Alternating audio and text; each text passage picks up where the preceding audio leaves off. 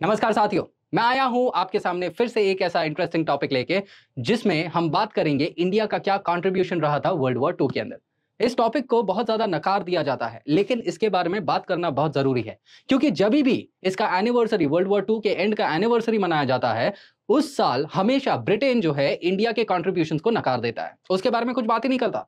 बोलता है कि साउथ ईस्ट एशियंस का कंट्रीब्यूशन रहा है कॉमनवेल्थ कंट्रीज़ का कंट्रीब्यूशन रहा है। अरे भाई, ऐसा क्यों बोल रहे हो तुम?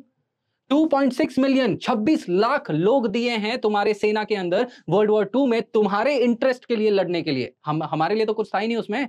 इसके अलावा हमने टिम्बर स्टील ऑयल ट्रांसपोर्टर्स हर एक लोग, हर एक जगह पे तो कंट्रीब्यूट किया है तो भी आपके लिए हमने कुछ नहीं किया है। ये सवाल हम इस वीडियो के माध्यम से उठाना चाह रहे हैं, जिसमें मैं आपको बताना चाह रहा हूँ कि इंडिया का कंट्रीब्यूशन के बगैर शायद कभी भी वो वर्ल्ड वॉर टू जीत नहीं सकता था यूनाइटेड किंगडम वो पेरिश हो जाता, खत्म हो जाता। अब वो चाहे माने चाहे मत माने, लेकिन कुछ ऐसे जगहें हैं, कुछ ऐसे लोग हैं जो मानते हैं कि इंडिया का कंट्रीब्यूशन क्या रहा है वर्ल्ड वॉर टू में। अब उसी के अंदर न्यूयॉर्क टाइम्स इस विश्व का और उस समय का सबसे one of the leading news news agencies जिसने 1918 के अंदर that is world war one के अंदर इंडिया के कंट्रीब्यूशन के बारे में लिखा कि इंडिया को जो भी चीज़ चाहिए, वो हमको दे देना चाहिए। क्योंकि इंडिया के प्रोडक्ट्स के बगैर ना, हम कभी वर्ल्ड वॉर वन जीत ही नहीं सकते थे। और यही सेम चीज़ वो वर्ल्ड वॉर टू के बारे में भी बोलता है। इसके अलावा यहाँ पर एक उन्हीं के फ़ील्ड मार्शल होते हैं क्लाउड जो बोलते हैं कि भाई वर्ल्ड वॉर वन और वर्ल्ड वॉर टू में अगर इंडियंस नहीं होते ना तो यूके का नामो निशान ही मिट जाता। यहाँ तक कि छोड़िए, इस दुनिया का सबसे रेसिस्ट आदमी, जो यूके का था that is the Winston Churchill वहाँ का प्राइम मिनिस्टर वो तक बोलता है कि इंडिया का कंट्रीब्यूशन इंडिया के सोल्जर्स का कंट्रीब्यूशन वर्ल्ड वॉर टू में बहुत ज़्यादा था। अब इतने लोग बोल रहे हैं अब मैं भी ये चीज़ क्यों बोल रहा हूँ कि इंडिया का कंट्रीब्यूशन बहुत ज़्यादा था? डेटा तो अपने बाद में देख लेंगे। बट यहाँ पर देखते हैं कि क्या अगर इंडियंस नहीं आते इनको बचाने तो क्या यूके पेरिश हो जाता क्या सही में? तो उसी बारे में अभी अपने बात करते हैं कि असल मायने में क्या दशा थी यूनाइटेड किंगडम की? देखिए 1939 में तो युद्ध चालू कर दिया इन्होंने। दैट इज़ हिटलर ने एंड एलाइड पावर्स ने। अब अंग्रेज़ों ने हमसे बगैर पूछे, यहाँ पर इंडिया का भी साथ बोल दिया कि India is also contributing in world war two अब जर्मनी उस टाइम पे इतना ज़्यादा पावरफुल था ना कि 1940 तक वो फ्रांस के अंदर तक घुस चुका है भाई। इसके अलावा उसने three lakh eighty thousand British soldiers को एक जगह पे दबा के रख दिया है यूरोप के अंदर ही कि भाई, यहाँ से मैं ही आगे बढ़ूँगा, तुम वहाँ कोने में रहो और एक एक को चुन चुन के मारूँगा। ऐसा हिटलर आगे बढ़ रहा था और मारते जा रहा था सबको। और कुछ को बस जाने दिया हिटलर ने जानबूझ के ताकि ये न्यूज़ दूसरी जगह पता चले। इसके अलावा हिटलर क्या कर रहा था? उनके हेडक्वार्टर्स के ऊपर हर एक जगह बॉम्ब बरसा रहा था और ये लोग ब्रिटेन जो ब्रिटिश सोल्जर्स थे, ये लोग भाग रहे थे भाई वहाँ से। इनकी दशा इतनी खराब हो गई कि इन्होंने खुद के ही आर्मी के कंटोनमेंट में चोरी करना शुरू कर दिया ट्रकों का, खानों का और सामानों का। इनके खुद के फॉरेन ऑफ़िस के सबसे वरिष्ठ अधिकारी बोलते हैं कि भाई हमारे जो सैनिक है ना, पूरे दुनिया के अंदर हमारा मज़ाक बना के रख दिया ब्रिटिश आर्मी का इन्होंने।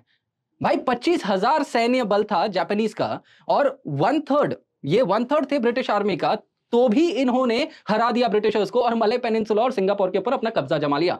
और इसी में ही उनके ब्रिटिशर के एक वरिष्ठ अधिकारी बोलते हैं कि यार, हम है ना जापानीज के सामने कोई मैच है ही नहीं। जापानीज का डिसिप्लिन इतना अच्छा है एटीट्यूड इतना अच्छा है, जबकि हमारे पास कुछ नहीं। हमारा तो ट्रेनिंग ही एकदम फिजूल है। तो इस टाइम पे इंडिया आया, इनका लाइफ सेवियर बन के लाइफ बोट के जैसा इंडिया आया और इनको नाव में बिठा के पानी के किनारे पर लेके चला गया। और तो भी ये लोग इतने बेहुदा हैं कि हमारे कंट्रीब्यूशन को ये नजरअंदाज कर देते हैं।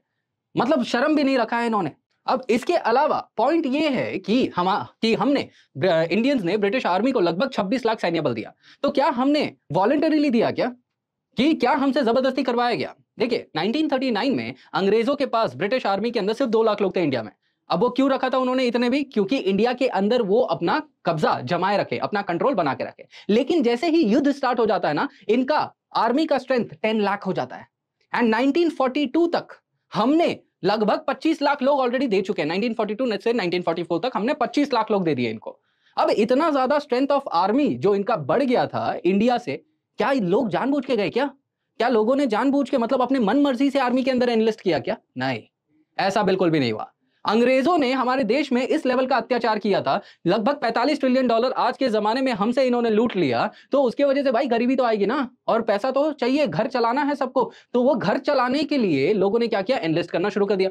इसके अलावा अंग्रेज़ों की बेहूदी देखो कि इन लोगों ने हरियाणा के अंदर हरियाणा और उसके अलावा बहुत सारे ऐसे जगह थे जहाँ पर इन्होंने पानी रोक दिया इरिगेशन का, जिसकी वजह से भुखमरी छा गई। तब तब लोगों ने अपने अपने घरों से एक एक बंदे को भेजना शुरू किया, तब जाके इनकी आर्मी इतनी बड़ी हुई। यार, इससे भी ये लोग गए गुजरे निकले जब हर घर परिवार के महिलाओं को नंगा घुमा रहे थे रास्ते पे ताकि वो लोग अपने लोगों को आर्मी के अंदर एनलिस्ट करवाए। लोगों को नंगा खड़ा करवाया झाड़ियों में, कांटे वाले झाड़ियों में, जब तक उन्होंने ये नहीं बोल दिया कि हम आर्मी के अंदर एनलिस्ट होना चाह रहे हैं।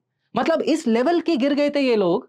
कि हमारे ऊपर इन्होंने इतना दबाव कर दिया। और इसके अलावा भी ये बोलते हैं कि भाई हमने कुछ कॉन्ट्रीब्यूट नहीं किया। भाई कॉन्ट्रीब्यूशन का लिस्ट जो है ना यार, बहुत बड़ा है।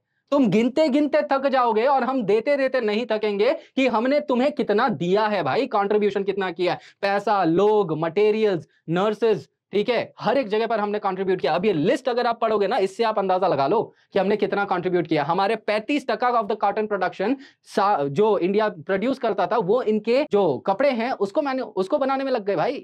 कितना हम कंट्रीब्यूट कर रहे हैं? हमने, हमारे इस कॉन्ट्रीब्यूशन में से चौबीस हज़ार पाँच सौ इंडियन सोल्जर्स तो मर गए।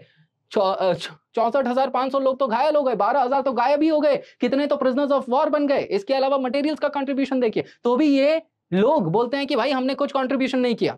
अब सवाल यह है कि अंग्रेज़ों ने इस कंट्रीब्यूशन का हमें क्या जवाब दिया? इन्होंने कुछ हमें नहीं दिया है, बस हमसे लेके गए। उल्टा इन्होंने यूएस को यह मना लिया कि भाई इंडिया के अंदर कुछ भी नहीं हुआ है, जबकि इंडिया के अंदर इस विंस्टन चर्चिल के पॉलिसीज़ की वजह से 30 लाख लोग मर गए 1943-44 में बंगाल फेमाइन की वजह से, जब इसने सारे प्रोडक्ट्स इंडिया से रीरूट करके उन वॉर के जगहों पे भिजवाए यूरोप में। इंडिया में भूखमरी छा गई और इतने लोग मर गए। उस टाइम पे भी ये व्यक्ति बोलता है वर्ल्ड वॉर टू खत्म होने के बाद यूएसए को, इंडिया का कुछ लॉस नहीं हुआ है भाई। इंडिया में कुछ क्राइसिस नहीं आया है। उल्टा इसने इंडिया को फोर्स कर दिया कि भाई तुम 24 million dollar world rehabilitation fund में दो। कि मतलब वर्ल्ड वॉर टू से जो नुकसान हुआ है, उसमें 24 मिलियन डॉलर दो। भाई क्या बात कर रहे हो यार ये तुम? इसके अलावा इन्होंने इंडिया से ही मिलिट्री एम्यूनिशन मिलिट्री एयरक्राफ्ट बनवा के नए नए अपने घर लेके चले गए ये लोग ब्रिटेन में, हमारे पैसे से बनवा के। तो ये इन्होंने हमें बदले में दिया। मृत्यु, नुकसान बेजती एंड कोई एंड कोई इज़्ज़त नहीं, कोई मेडल्स नहीं। मेडल्स दिए, लेकिन कुछ लोगों को दिए। भाई, इन सब चीज़ों का जो हमने कंट्रीब्यूट करा, उसका क्या? तो ये चीज़ के ऊपर बातें करना बहुत ज़रूरी है कि क्या इंडिया के कंट्रीब्यूशन के बगैर वर्ल्ड वॉर टू हार जाता यूनाइटेड किंगडम तो अब आप अपना जवाब बताइए कमेंट करके, क्योंकि मैंने तो मेरा जवाब स्टार्टिंग ऑफ़ द लेक्चर में ही दे दिया था। अब ये सुनने के बाद आप बताइए आपकी राय क्या है। Thank you for watching this session do like share and subscribe